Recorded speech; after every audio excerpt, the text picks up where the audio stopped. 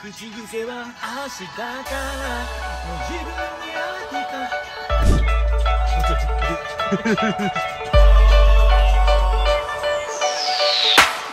アンバサダープーロ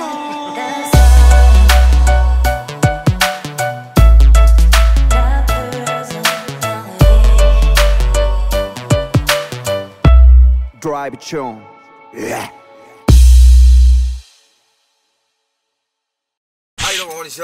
ちはこれです。ガーガー。というわけで本日もドライブチューン。キャンプドライブということでキャンプといえばやっぱりこの人来ていただきたいなって思ってあの今日は呼んでもらってます。ちょ今日はこういう感じのドライブなんですけど。じゃあ来てください。どうぞ。ガチャ。バタン。久富先輩でー。すドゥーザレゲマンですよ本当に俺のドライブチューンめっちゃ雑やな いや逆に手手凝ってますよ。逆に 逆に。やるこれ。あちょっとシートベルトだけちゃんとやって。設定はちゃんとすんのや。これハンドルでくださいこういう。めっちゃシュール。ハンドル。これハンドルです。これハンドルそうです。行きましょうか。行きましょうか、はい。どうですか？最近というかもう俺らは 会いすぎてるのよ今更喋ることもね。もう本当にないんですけどやっぱドライブ中にはやっぱ参加していただきたいっていう。うん。やっぱまあ僕らのチャンネルのコンテンツで一番人気あるんでなるほぜひちょっと来ていただきたいどはいんですけども。最近はどうですか？音楽活動の方は。大変音楽活動。うはい。ーんまあライブしてるけどはい。制作はもうピタッと止まっててっていうのもはいはいあのー制作をしてるとこがアジトミュージックって今そこが新築のスタジオ建って、はい。すごいあのスタジオ転換期やねんけど機材とか機材そう機材入れ替え期で。それがさコロナのこの物流のさこの停滞で入ってけへんかって、であのできなかったもうすぐ。うんでも。なるほど。まあそういうのもありつつと、でもなんか今年はこうライブっていうよりもこうなんかすごい制作力入れたいみたいな。そう。言ってはったじゃないですか。そのつもりやってんけどな。まだ再開してないからなるほど。言うてる間にもう3月になって思うんだけそうですよね。そのあれですか？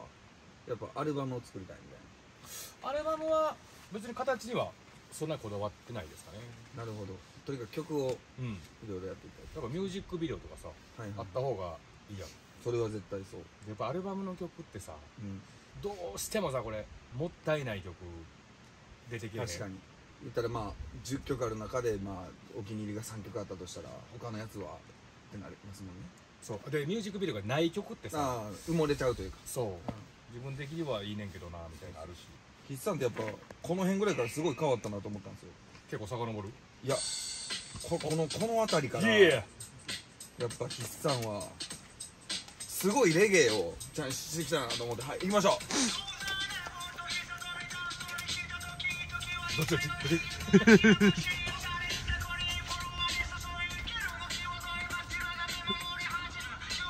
このかっこいいなこのミキさん音聞く何もかも忘れて踊る時間の開始アイリーこの次この次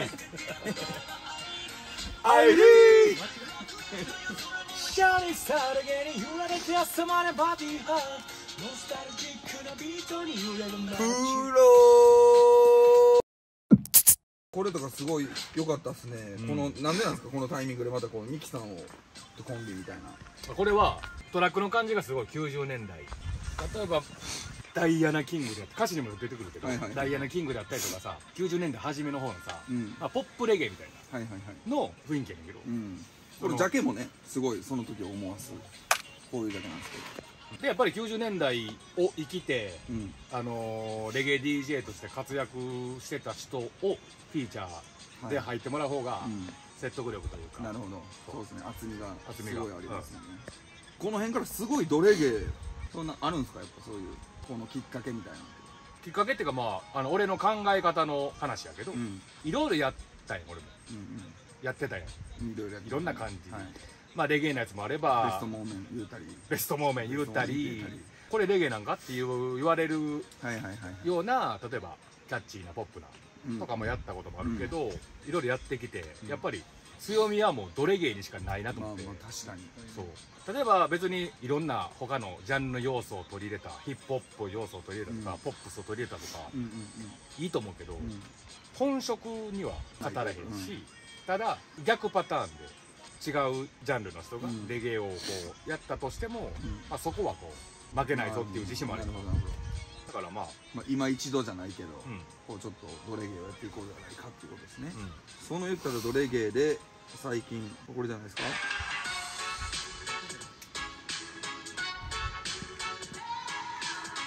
ベイクちゃんやな He's a Tommy Do the reggae man Oh yeah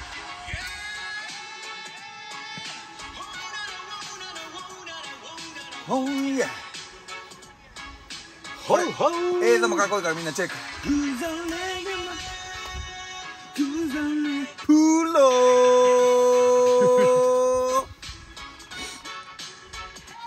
いいじゃないですか。もう超レゲエ。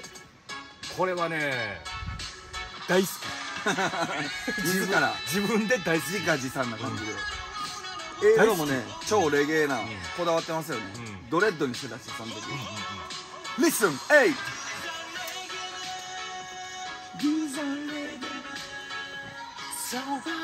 ーキーな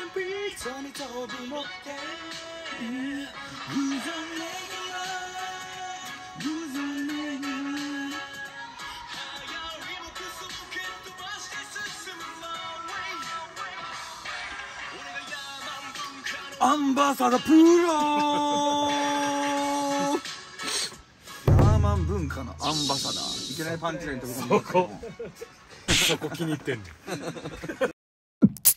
だいぶパンチラインっすね。常夏のメッセンジャーもね。常夏のメッセンジャ言ったらあーれもあのケン君が最後にポロッと出したじゃないですか。こう迷ってるんですよみたいな話しててあの時だからだいぶ前から温めてた曲なんやなと思って、キャンプした時にあの筆算のチャンネルで3人でキャンプしてる回があるんです。一昨年ぐらいやもんな。そう。すごい温めてましたね。うん。曲自体はな結構最初にできてて、だからこれも言ったらそのカテゴリーというか、そうそうそう。まあ、レゲエをっていうところですよね、でもまあやっぱり筆算は一番初めみんなが認知したっていうのはやっぱこれやと思うんですよ。こういうこういう感じなのよね。ここの良さもあるからやっぱり。ものがあるから走り続けるいつかものものにする待っとけってマイプロ。細こん時の筆算。声な。え声も顔もほら。あ顔？顔めちゃくちゃ細い。ほんまやな。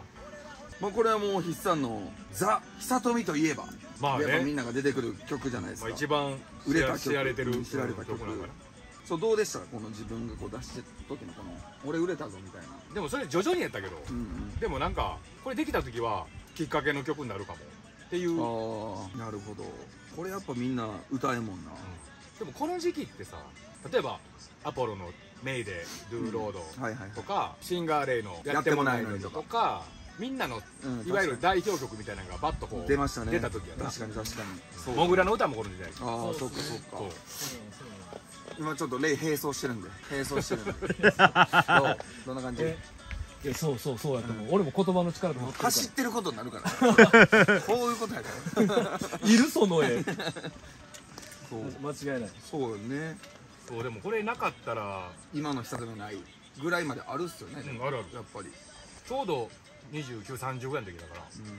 これがヒットしなかったのは違う道を。歩んでた。この時29っすか？マジで？そうなんや。結構遅結咲きの構いってラガマフィンますね。そうやで。だからもうギリギリやねん。バカにされてもえ